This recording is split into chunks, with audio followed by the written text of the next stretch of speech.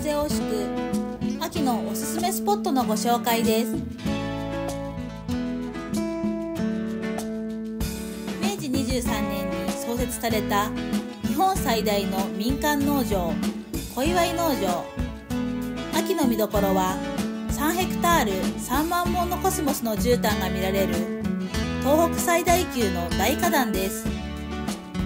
こちらは例年9月中旬頃が見頃になります。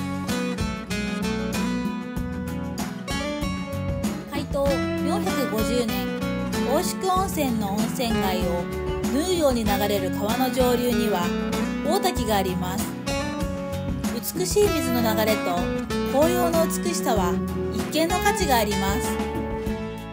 ホテルに隣接するフラワーガーデン森の風では秋ならではの庭園の美しさを楽しめます。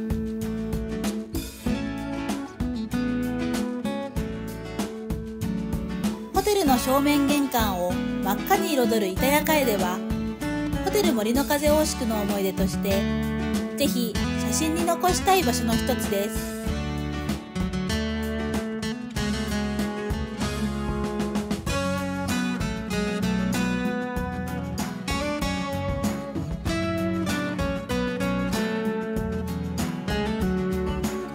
森の中をイメージした酸素を吹き抜けのロビー。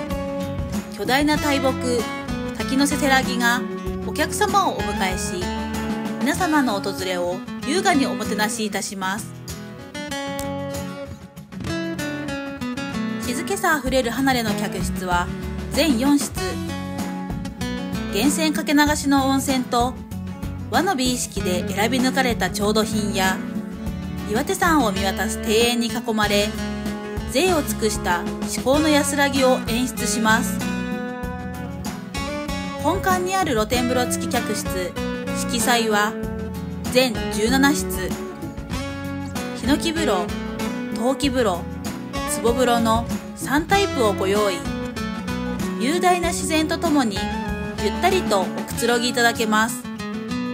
ご家族や気の合うグループでご利用いただける和室はゆとりある空間と大きな窓で疲れを癒し上質なひとときを演出いたします。各フロアにはカラフルな色浴衣を取り揃えておりお好みの浴衣を着ればさらに旅行気分が盛り上がります。そしてホテル自慢の温泉は美しい岩手山や奥羽山脈が連なる大パノラマの空中露天風呂。目の前に広がる雫石盆地と遠くに連なる集合岩手山。秋田駒ヶ岳。姫神山などの名峰の数々。また澄んだ夜空に映える満天の星空は手を伸ばせば今にも届きそうです。空と大地を独り占めするような贅沢な眺望をお楽しみください。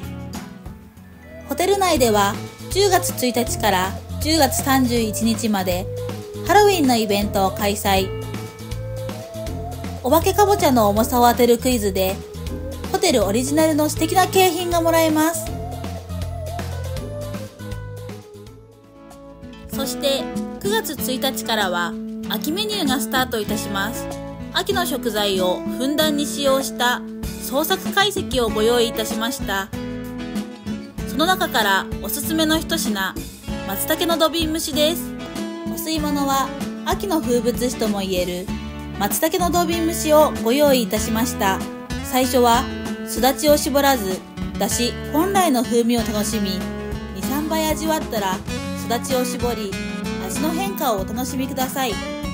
松茸が香る上品な味わいは日本料理の奥深さを改めて感じさせる美味しさがあります。